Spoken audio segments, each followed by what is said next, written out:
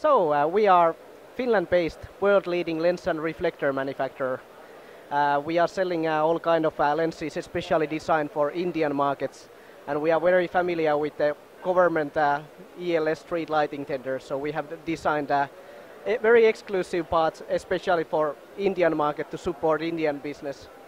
And we have been in this Indian LED Expo already the last six years, and every year it seems uh, that the government is save, trying to save more and more energy, and uh, we try to help also India to grow, grow even, even faster.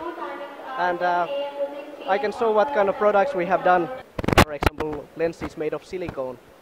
So this is a completely waterproof design, designed for uh, high bay lighting, for COB LEDs. With this kind of lens solution, you can make very nice uh, waterproof, waterproof uh, high bay solution. Silicone also as a material is very interesting because uh, the efficiency of the material is 95 and also it's very impact resistant so you can hit the luminaire and the lens doesn't break.